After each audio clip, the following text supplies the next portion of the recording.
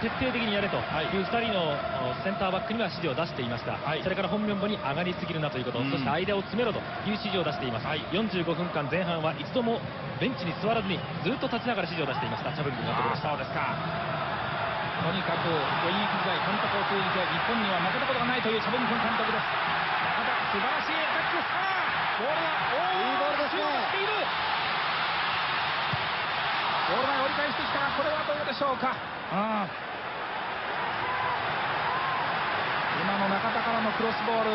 金さん素晴らしいボールですね。その前にも非常に体の強いところを見せてね、えー、やっぱあそこでねすごい筋力使った後このパスが出せるっていうのはやっぱりコンディションいいんですよ。そうですよね、はい。まあ、UAE 戦でも途中で中田は交代しましたがもうはっきり言って疲れは全くありませんでしたと。もう笑ってました中田ですとにかく各世代でもう世界を向こうに回してプレーをしてまいりました。二十歳の天才中田。これはオフサイド。